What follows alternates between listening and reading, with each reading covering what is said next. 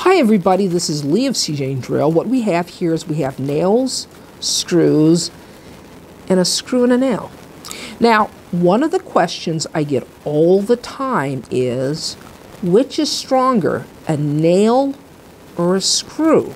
So believe it or not, that's not a question that's easily answered. So let's start with nails.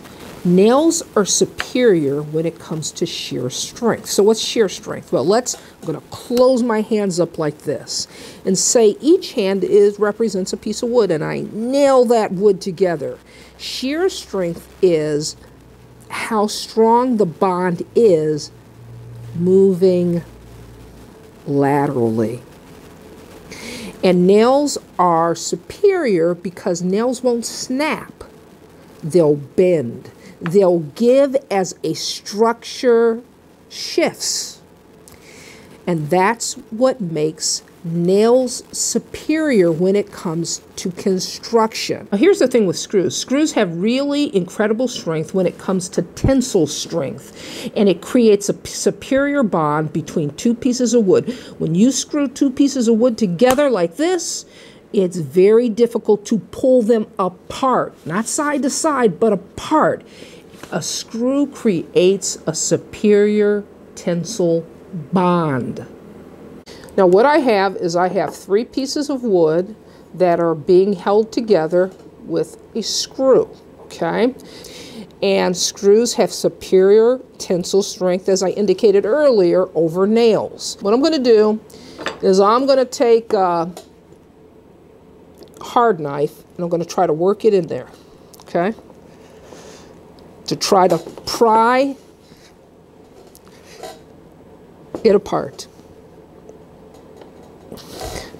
And as you can see, I got a little movement, but I was unable to pry it apart. So here we have a nail in the center, in this case, four blocks of wood because the nail was a little long, all right? Now I'm gonna take my hard knife here and I'm gonna wedge it right here.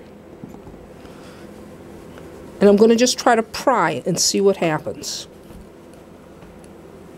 And you see, that's why a screw is stronger than a nail when it comes to a tensile bond.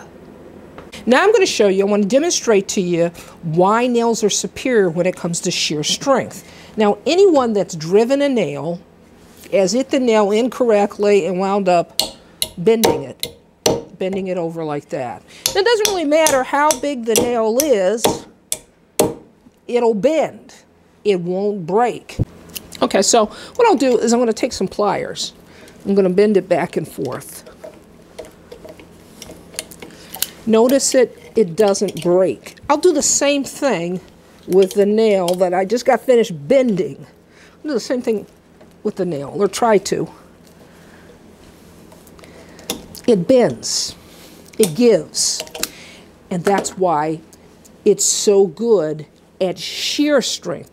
Okay, so when it comes to screws, screws are very brittle. Even though they're strong in terms of tensile strength, in terms of shear strength, they will snap in a heartbeat once there's any kind of lateral movement. Let me show you what I mean.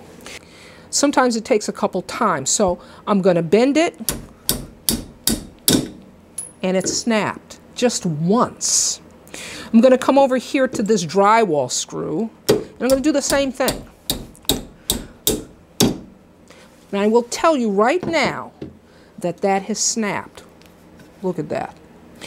And that's why screws don't do a great job when it comes to structural strength.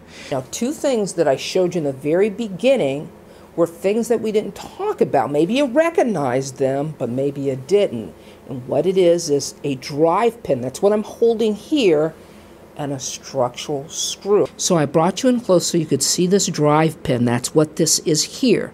Now the interesting thing is it looks like a nail, but you don't use a hammer on it. You use a tool called a powder actuated tool to drive the nail in, usually in steel or concrete or block. Now here we have our structural screw. Now, the thing about structural screws is that they're very, very expensive.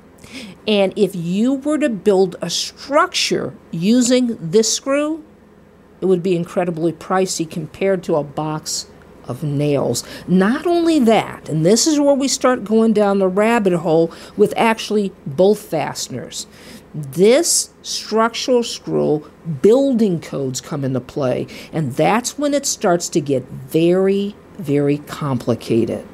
So I just wanted to touch on drive pins and structural screws kind of lightly because they're specialty fasteners. So to recap, nails are great for construction because of shear strength. Remember, they'll bend, but they don't break.